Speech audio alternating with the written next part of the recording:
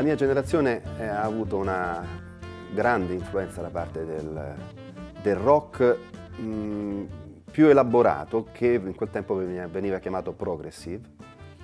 Stiamo parlando della prima metà degli anni 70. Musicisti per lo più di area inglese che facevano un lavoro un po' più eh, organizzato rispetto alla musica dei gruppi rock tradizionali. Facevano brani più lunghi, più elaborati, più sinfonici, nel senso della elaborazione sia eh, melodica che armonica che strutturale dei brani, quindi eh, nel miscuglio fra la parte scritta e la parte improvvisata.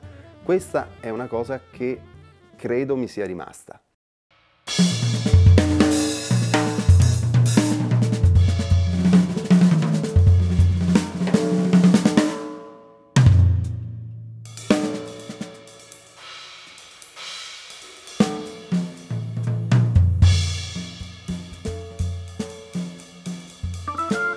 Nella musica che faccio nel disco dei traditori, c'è una ricerca di questo equilibrio fra eh, mediazione fra scrittura e improvvisazione, fra vincolo e libertà, diciamo così, e ovviamente fra tradizione e tradimento, cioè fra il fatto di rispettare quello che una persona scrive e il fatto che quei musicisti, per il fatto stesso che sono loro a farlo e non un altro, lo interpretano, come si dice, cioè lo trattano, lo modificano, lo adattano a quello che sono le, le loro personalità.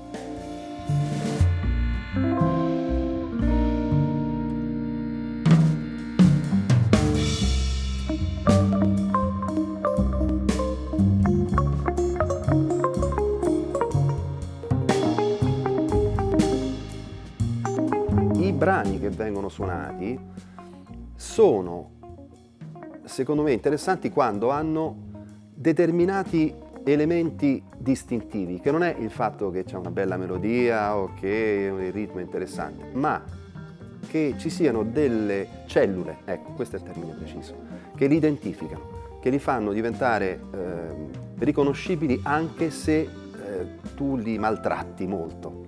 In questo senso anche i brani che noi facciamo nel disco, i brani di Lou Reed, i brani eh, di, di, dei Beatles, che non sono né Lou Reed né Beatles esattamente dei gruppi progressive, però eh, hanno queste caratteristiche. Insomma, vengono trattati in modo progressive, sono un materiale sopra del quale ci si mettono dei colori, degli abiti, delle sovrastrutture che li rendono adatti a quello che è la mia ricerca. E in questo senso c'è un po' di progressive e sicuramente c'è un po' di tradimento e di tradizione.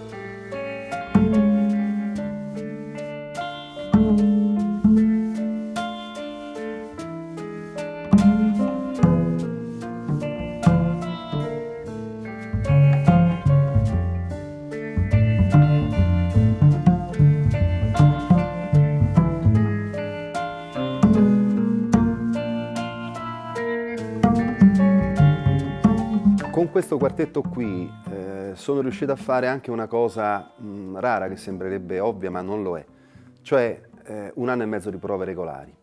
Eh, sono musicisti bravissimi, dedicati, applicati alla musica che fanno e eh, riuscire a avere questa regolarità di, di, di studio del materiale e quindi anche di scelta del materiale è stato fondamentale.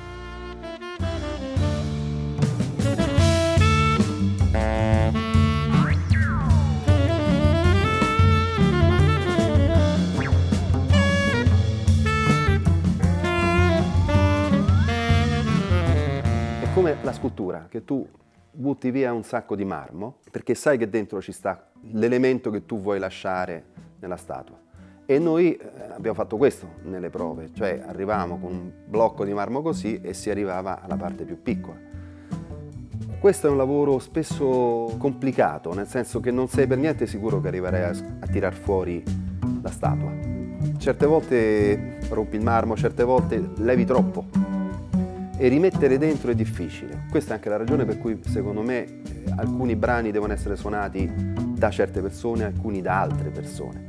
Duke Ellington eh, aveva un'orchestra straordinaria, forse la più famosa della storia del jazz, anche perché la scelta dei musicisti non era semplicemente quello è un bravo sassofonista, un bravissimo sassofonista, quindi lo assumo, ma è il sassofonista che mi serve per il suono che io vado a cercare. E questa è una cosa molto difficile molto eh, che lega un po' la casualità con la capacità di ognuno di noi di modificarsi anche rispetto al progetto musicale. Devo ringraziare i musicisti per questo.